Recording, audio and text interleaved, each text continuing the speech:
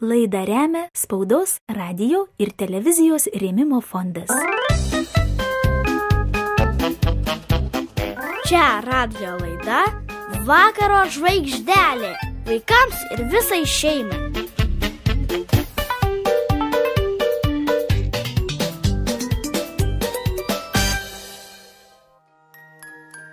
Labas vakaras vaikai. Šiandien laidoje aš vakaro žvaigždelė norėčiau pakalbėti apie žiburio šviesą. Senovinio žibinto neturiu, tačiau mano kišenėje žibintuvėlis. Dabar aš jį įjungsiu.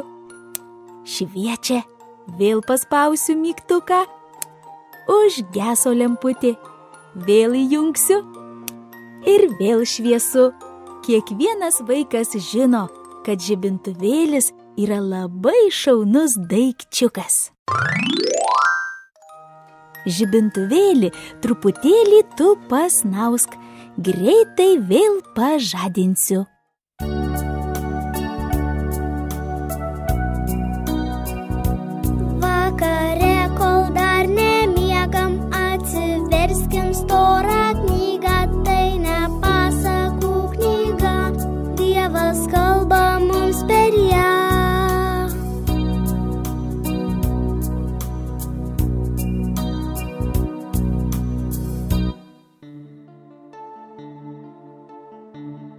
Šiandien atsiversiu Evangeliją pagal Luką 11 skyrių ir paskaitysiu, ką Jėzus kalbėjo žmonėms. Žiburio šviesa. Niekas uždegto žiburio nededa į slėptuvę ar po indu, bet stato jį į žibintuvą, kad įeinantys matytų šviesą. Kūno žiburys yra tavoji akis, todėl jei tavo akis sveika, visam tavo kūnui bus šviesu. O jeigu tavo akis nesveika, tavo kūnas skendės tamsoje. Todėl žiūrėk, kad tavoji šviesa nebūtų tamsybė. Taigi jei visam tavo kūnui šviesu ir niekas jo netemdo, tai jis ir bus šviesus, lyg būtum apšviestas žiburio spindulių.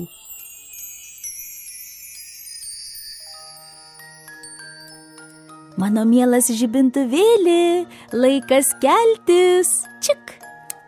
Paspaudžiau mygtuką. Jau pabudo mano mažasis draugas. Linksmai šviečia jo akelė. Gerai.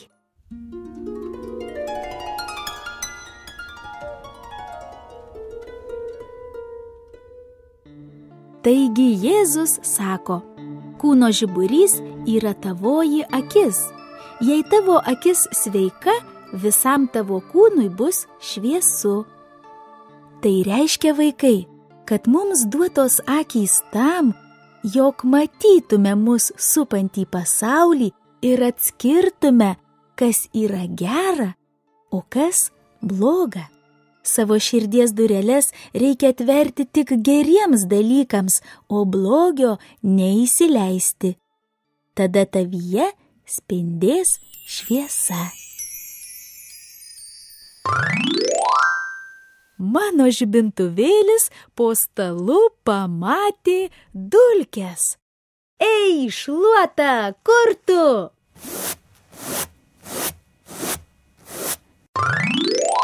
Na štai, dulkių nebėra.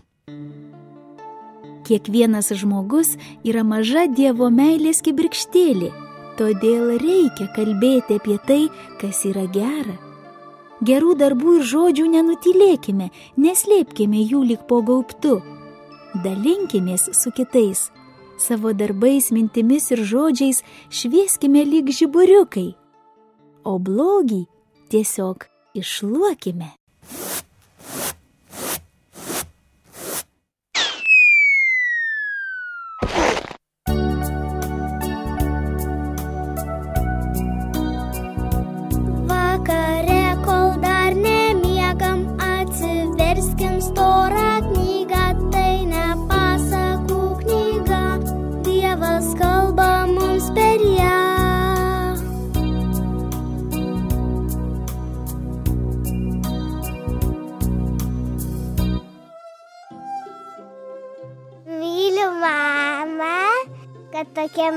Mamytė graži.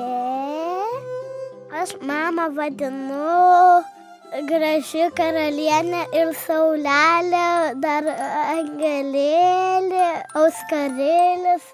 Tu mama labai graži, tu labai jauna ir aš tave myliu. Aš atnešiau mamytei į lovą kavos, o tėčiai arbatos.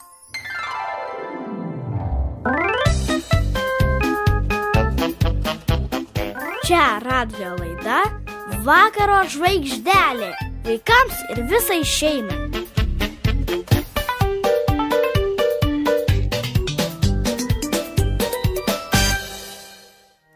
Kišeninis žibintuvėlis šaunus daikčiukas, ar ne vaikai?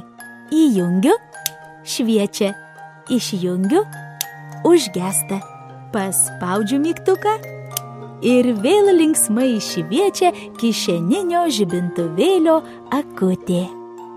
Mano mažieji bičiuliai, mažieji žiburiukai, pasiklausykite giesmelės slovakų kalba. Jėzus myli mane, jis mane myli tikrai, jo meilė gili, plati, aukšta, jo meilė nuostabi, tikrai. Jėzus myli tave, jis dovanoja tau savo širdį, tikrai.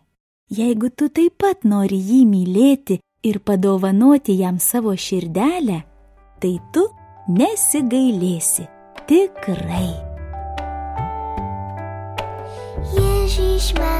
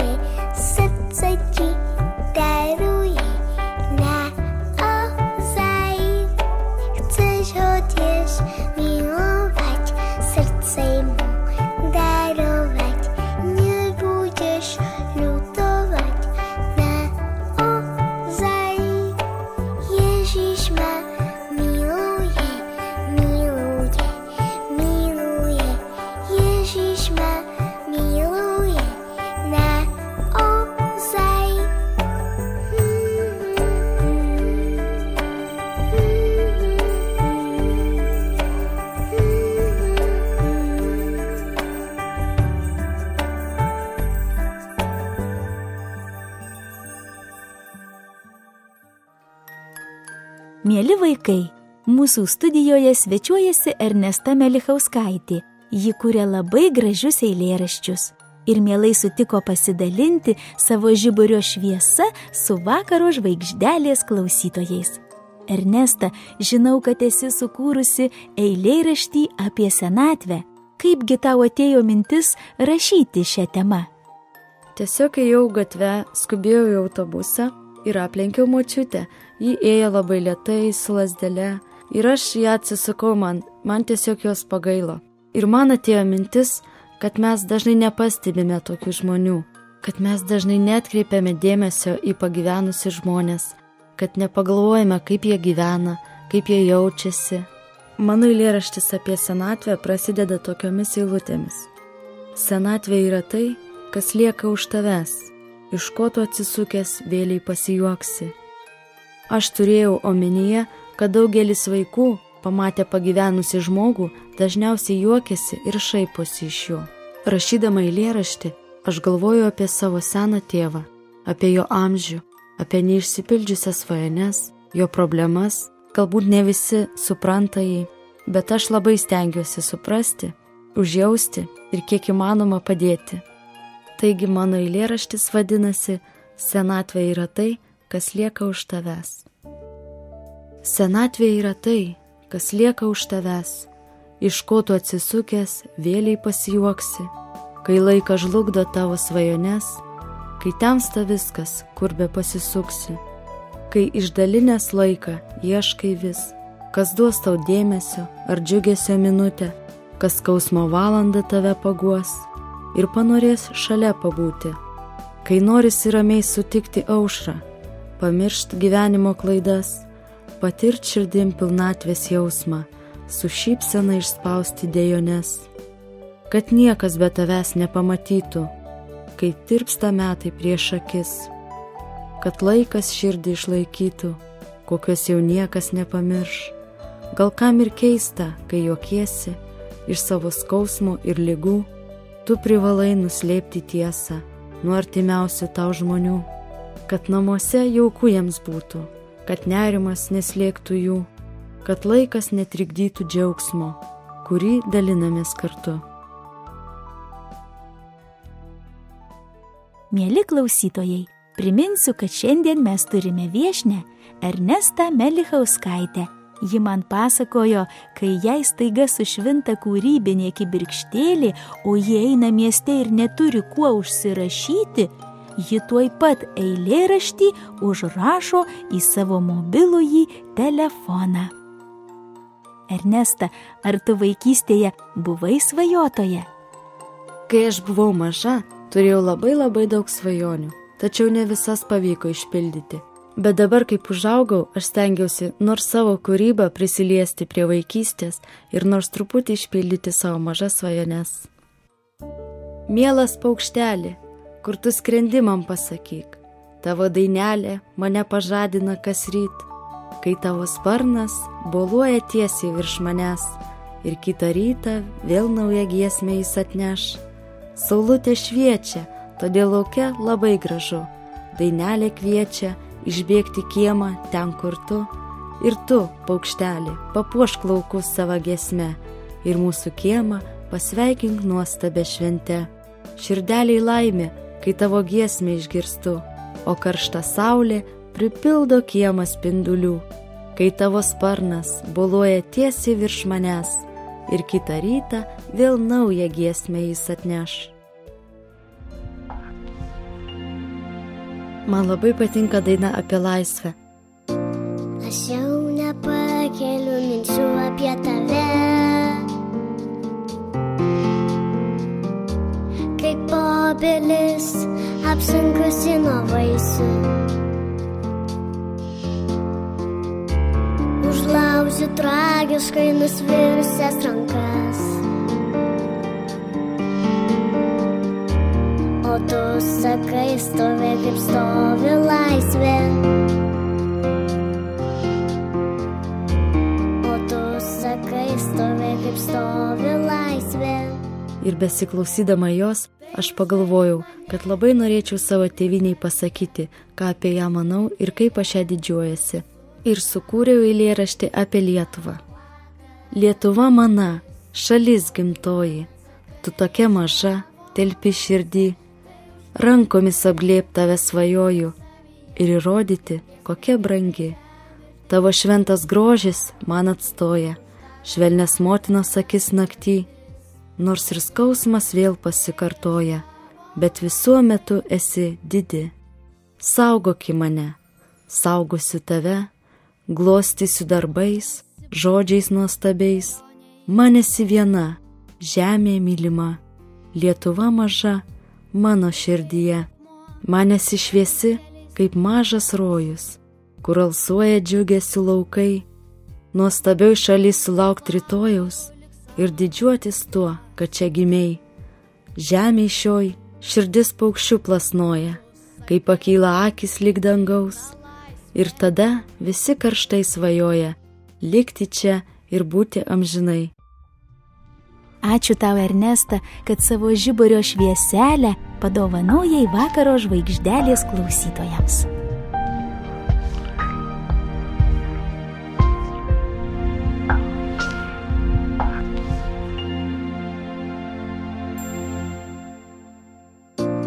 Aš jau nepakeliu minčių apie tave.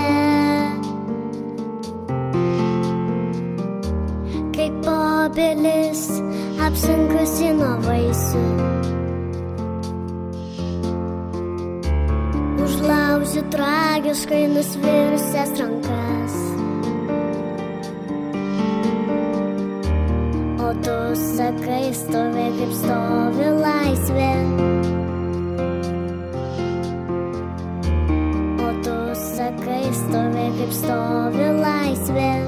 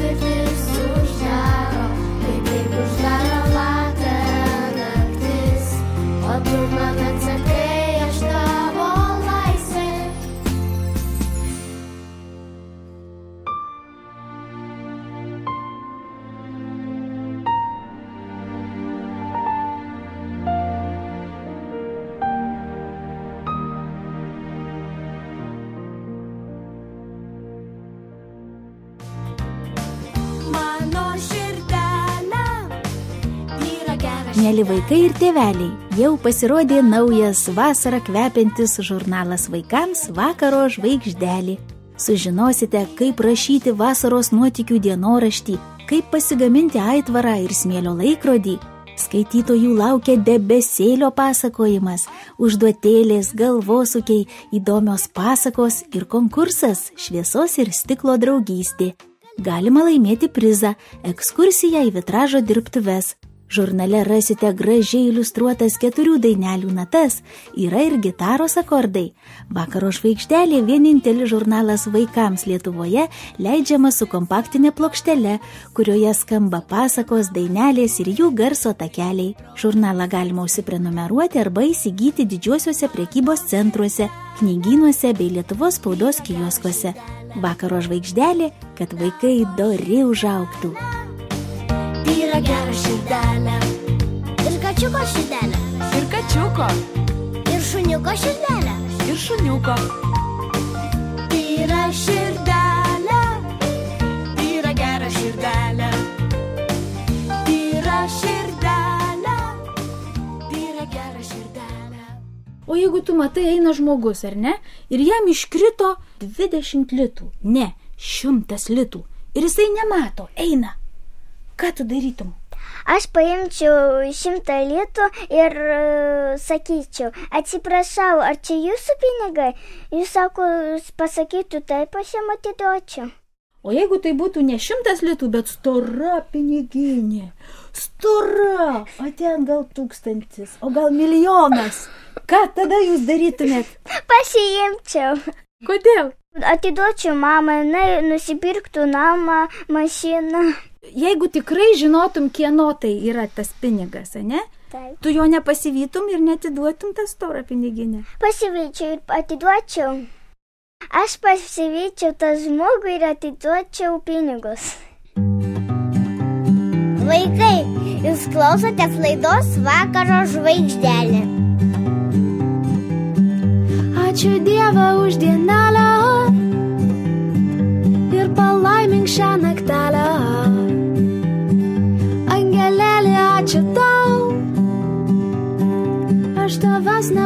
nepamiršau.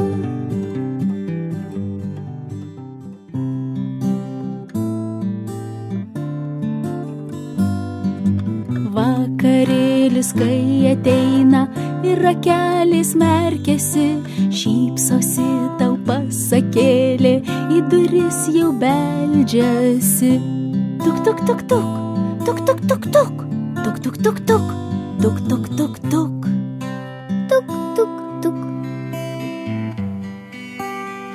Marija Bačkulytė.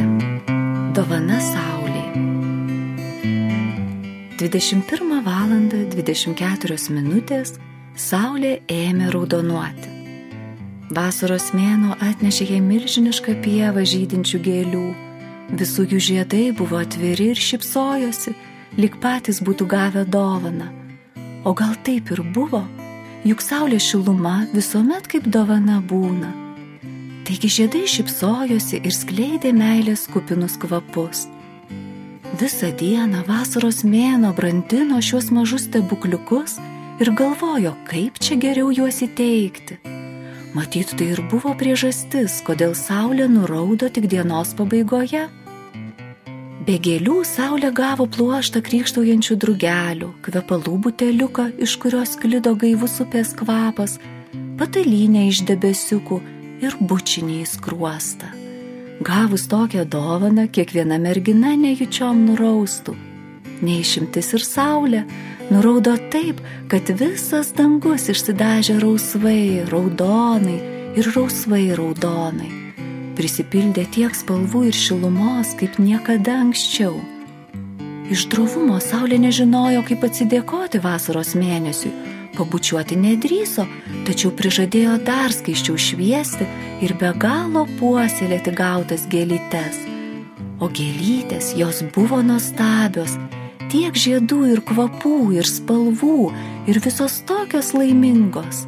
Saulė norėjo jas visas apglėpti, neiškentusi taip ir padarė. Nepraėjo ne dešimt minučių ir ji jau gulėjo savo pievoje, ritinėjosi ir svajojo apie vasaros mėnesį. Supratingesni draugeliai žinojo, kad šios svajos tai pirmieji įsimylėjimo požymiai. Drąsesni ėmė ir uždainavo vieną iš milijono meilės dainų.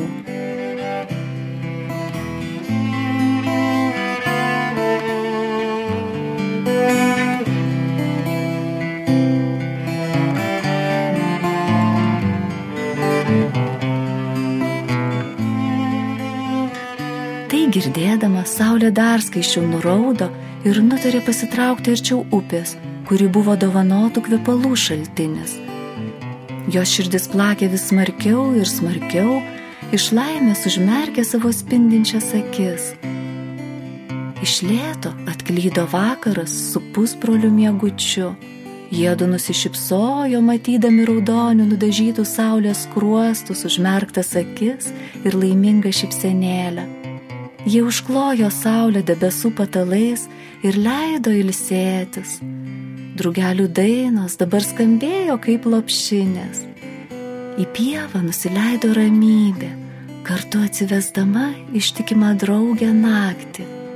Naktis savo žvaigždėtomis akimis apžvelgė viską aplink ir melodingų balsų ištarė.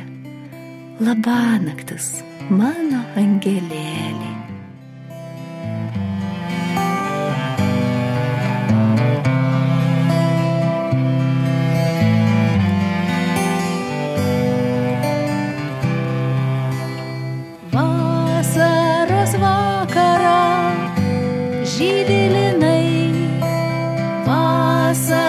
Vakarą groja žiogai. Vasaros vakaras, šiltas ramus, jis dovanoja tau spalvotus sapnus. Vasaros vakaras, šiltas ramus, jis dovanoja tau spalvotus sapnus.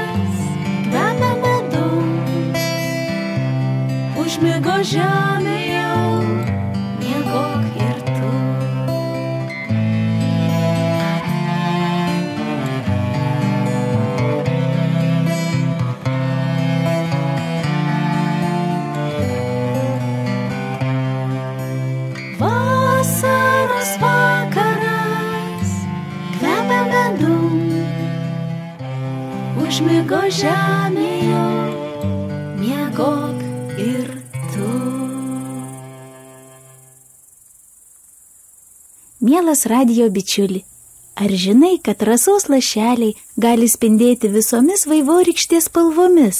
Vieną rytą mačiau spalvotus rasos lašelius - žalią, raudoną, mėlyną, geltoną, lyg būtų pabėręs kažkas spalvotų karoliukų į žalę žolę. Mielas bičiuli, ar žinai, kad žiogų ir svirplių klausos organai yra priekinių kojų blausdose, o nepaprastus garsus žiogai ir svirpliai išgauna, trindami vieną į kitą savo ansparnius? Ar žinai, kad Naujojoje Zelandijoje yra nepaprastas švytinčių jonvabalių urvas? Tai Vaitomo urvas. Įėję į tą urvą žmonės pamato ne tik stalagmitus ir stalaktitus, bet sėda į valtelę ir tyloje, visiškoje tamsoje plaukia ir ant urvo sienų ir lubų pamato tūkstančių tūkstančius švytinčių jonvabalių. Jie švyti šviesiai žaliai. Šie jonvabaliai gyvena tik Naujojoje Zelandijoje.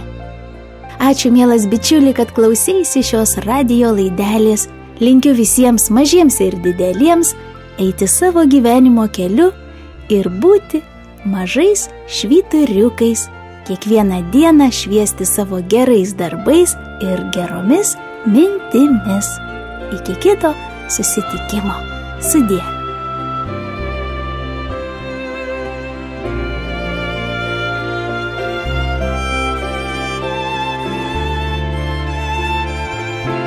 Dėkojame tėveliams, kurie remia radio laidą Vakaro žvaigždelį. Ačiū spaudos, radio ir televizijos remimo fondui už ilgametę paramą. Taip pat dėkojame XFM radijui už laidos transliavimą.